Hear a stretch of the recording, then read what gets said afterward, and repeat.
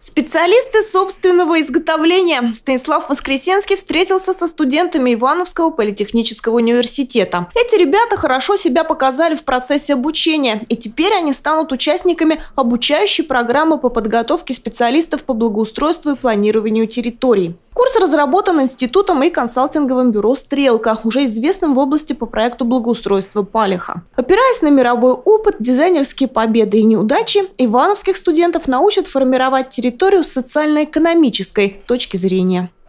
Это серия воркшопов, это двухмесячная серия и воркшопов и лекций. А, результатом будет разработан проект благоустройства Шереметьевского проспекта, да, совместно со Стрелкой, под их руководством, под руководством таких экспертов, которые разрабатывали Садовое кольцо в Москве. Да, вот именно вот Дарья у нас здесь эксперт, она от начала до конца, до последней плиточки участвовала в этом процессе, от разработки до реализации. Поэтому это колоссальный опыт,